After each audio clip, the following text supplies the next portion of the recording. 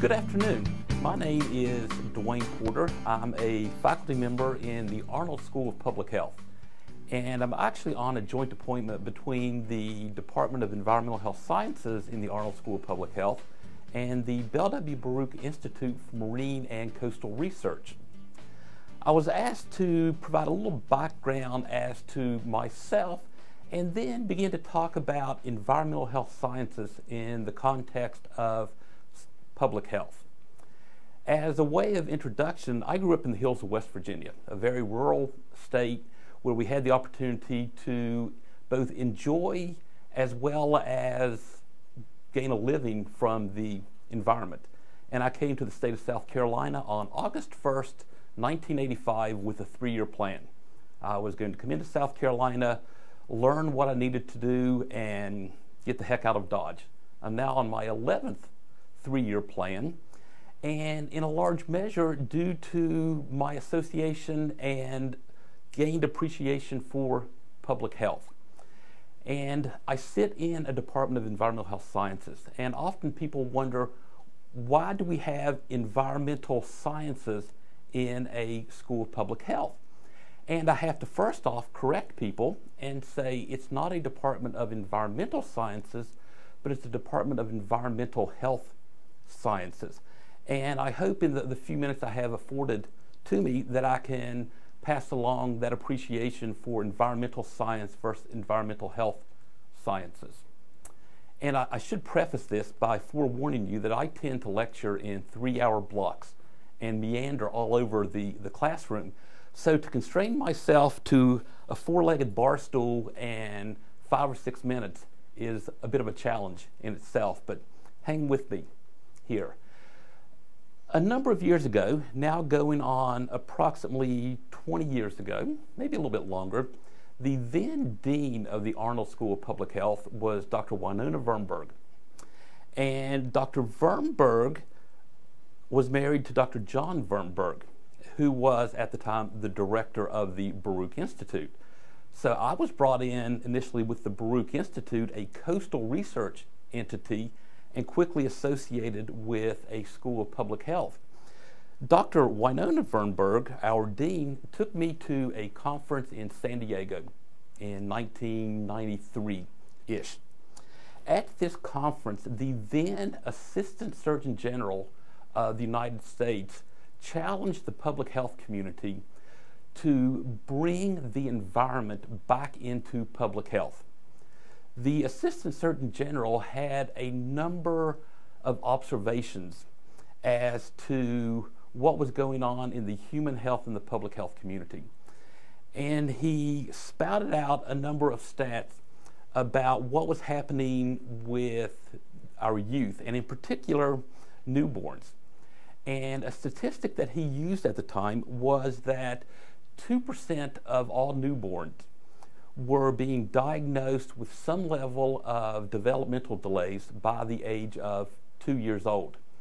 And in 50% of those cases, the, the medical community could not determine the cause or even come up with a strong correlation as to what was contributing to the, the health concerns. And he challenged the public health community to reach down again to your roots and bring the environment into it. Dr. Vernberg came back to South Carolina and she began to assess the characteristics, the public health characteristics of our population. And what she came away with is, for better or for worse, we're a living laboratory. We had all of the health concerns that the Assistant Surgeon General was discussing. And she took that as a challenge to work with her husband, Dr. Vernberg, to begin to advance our department to be a true department of environmental health sciences, to not just focus on the environmental aspect of it. This created a challenge for us because we sat in a school of public health, but we were a very, we could have been a marine science program, to be honest with you, because we looked at grass shrimp and shellfish and sand movement and things that we didn't see the initial link to public health. So we had to, to restructure ourselves, and it was a learning experience. Sitting in academia in a school of public health was fantastic. We were forced out of our cubicles and out of our labs to start to talk to our colleagues in a variety of other departments, whether it's biostatistics or epidemiology or uh, health education and uh, promotion. It was a great experience, and we began to realize that the environment is much more than land, sea, and air. And these days, I like to refer my students and the folks we work with in the communities to the National Environmental Policy Act. So NEPA for short is the seminal piece of environmental legislation. It was passed into law by then President Richard M. Nixon on January 1st, 1970. And NEPA was intended to require the federal government to begin to assess the impacts of their activities on the environment. Where our School of Public Health was really able to grab onto this is that under NEPA, the environment is defined as more than just the land, sea, and air that I recently referred to, but to also include society, culture, the economy, and public health. So under NEPA, we define the environment as much more broad than what an environmental science program may do. And so we look at the environment in a, in a very different way. We look at how our activities may affect the environment, and oftentimes we refer to anthropogenic activities. And those are man's activities and the impact that we can have on the environment, either individually or collectively. And we also talk about physiographic influences, and that's where Mother Nature comes into play, whether we're talking about storm events or flooding, or nowadays we spend a lot of time talking about climate variability and changing temperatures. And these are all tied to physiographic influences that may or may not be impacted by our anthropogenic activities. So everything is connected within public health.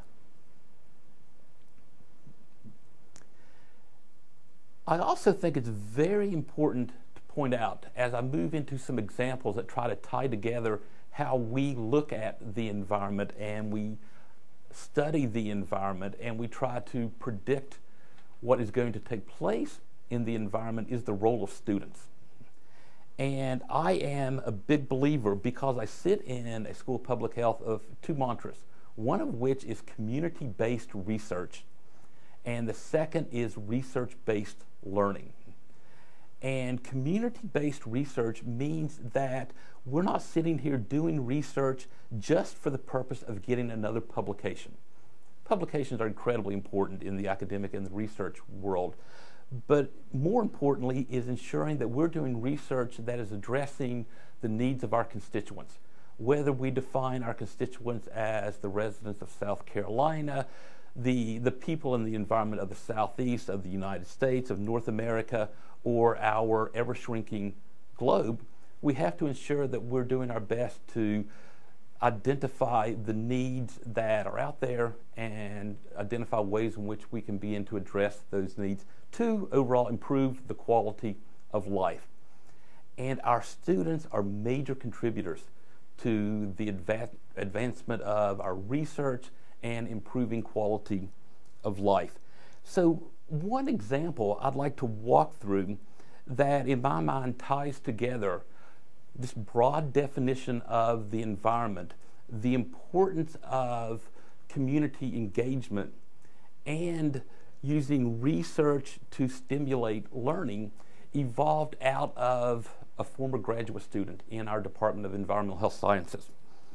A number of years ago, we had a student who, a very ambitious young lady, who not only was a graduate student, but she was also a full time employee of a state agency in South Carolina. And her responsibilities were tied to determining whether or not it was safe to swim in our beaches and to notify the public as to whether it was safe or not, recognizing that tourism is a multi billion dollar a year industry in South Carolina. And we have folks from all over the country and all over the world these days who make annual treks to the Grand Strand area, which also is referred to Myrtle Beach in South Carolina. And our state health agency has had a long term monitoring program where they are monitoring the conditions of our beach swimming waters. And if they identify that there is an elevated bacterial level, they will issue a notification to discourage people from swimming in the beaches. The way that the process entailed is that a beach manager would go out to a beach on a given morning and take a water quality sample. The, the water quality sample would be sent off to a laboratory for analysis that would take up to 24 hours to complete. The lab would then return the results to the uh, public health officials.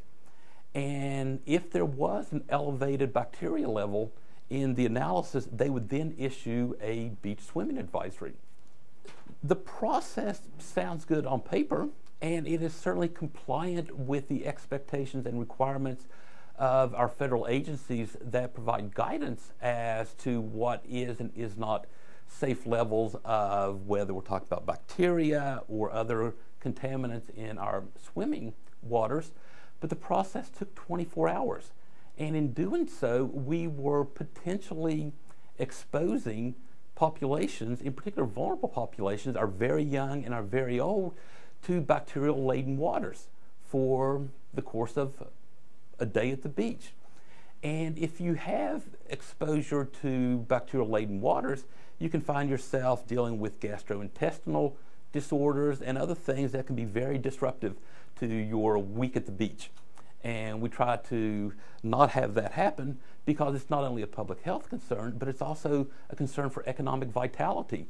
If we have too many cases of our residents from Ohio coming to the beach and spending half their time at the dock in the box because their three year old has ingested a lot of water and has a, a very upset stomach, you know, they're not going to be coming back that often. So we had a public health concern and a concern for economic vitality.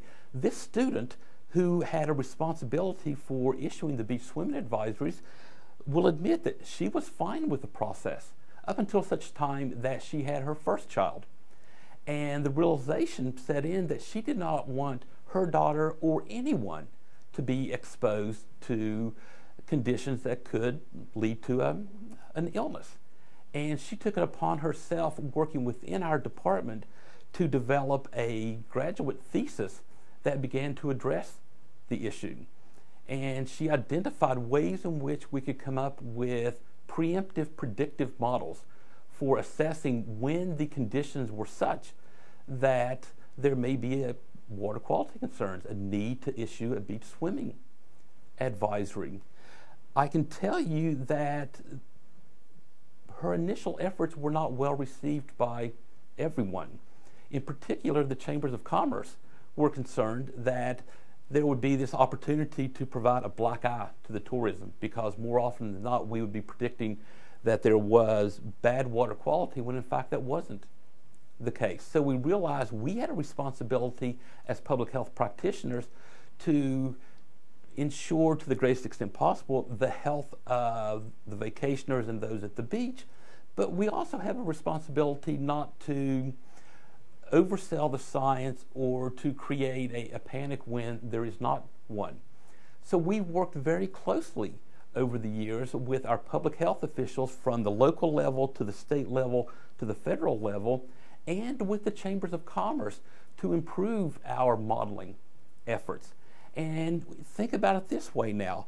If we have the ability, because of a concern a student brought to our attention, brought to the attention of the state of South Carolina a number of years ago, that will allow us to better protect public health by issuing beach swimming advisors beach swimming advisories when they are warranted and providing our tourism boards and our chambers of commerce a heads up of, say, 24 to 48 hours as to when conditions may warrant the issuance of, of a beach swimming advisory.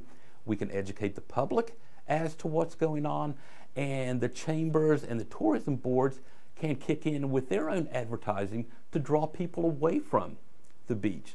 So the reality is when we start to work beyond the bounds of our individual disciplines to focus on quality of life, and quality of life is tied to how well the economy is doing, how well the environment is faring, how well people feel about where they are, what they're doing, and their condition. It's a win-win situation. So uh, a very simple but powerful example of how a student, how you all in the classroom can make a difference starting today and moving through your career.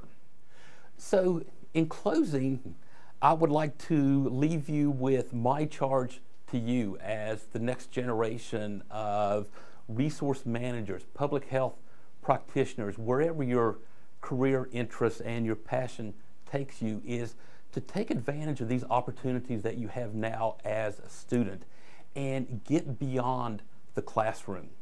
Begin to interact with your faculty and organizations within your community to start to fuel your passion now.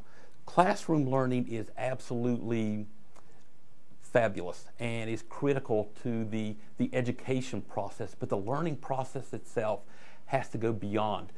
Look for and take advantage of opportunities where you can take what you've learned from your textbooks and begin to see how it does apply and in some cases does not apply to the real world and get engaged. There are research opportunities that can be developed with faculty. Look within your communities and see where you have the opportunity to take your blossoming passion for whatever it is and go out and begin to make a difference in the community. I will offer this up as my closing comment. A number of years ago, when I began to do some administrative work for our department, we did an initial survey of the agencies and organizations that either was hiring our students or should be hiring our students. Almost every single agency said to us, you all are doing a fantastic job of educating your students in the classroom. They come to us with a wealth of laboratory and book knowledge. Then we have to spend the next 12 months deprogramming them as to how the real world works. Can you all please develop real world opportunities for your students so that they can merge the classroom learning with the real world? And our School of Public Health took that to heart. And we work very hard to identify and create opportunities for our students to take what they're learning in the classroom, such as an important course like this, and begin to apply it in the real world. It's never too early to begin that process. And what we find today is that those students that take that extra effort, go that extra yard, that extra mile, to develop skills that are relevant to the real world, that build upon their classical education training, then those are the ones that are head and shoulders above when it comes time to that next step in your career.